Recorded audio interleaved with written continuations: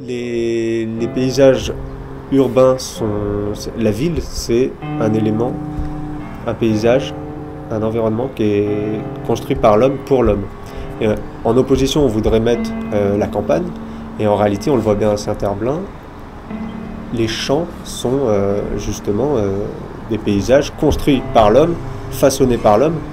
Des champs en perte de vue, c'est réellement qu'un paysage façonné par l'homme, pour l'homme, pour le nourrir, etc.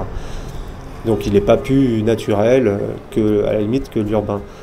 Et après, s'il reste la question, s'il reste des, paysages entre guillemets naturels, je dirais qu'ils ils vont peut-être se révéler, en tout cas plus facilement en zone urbaine, notamment dans les friches ou dans ces entre-deux, ou comme je disais, le petit, le petit brin d'herbe qui va pousser entre deux pavés va être plus, en tout cas on va le voir et le remarquer plus facilement. Et là, pour le coup, c'est pas l'homme qui l'a décidé, c'est c'est la nature qui reprend ses droits.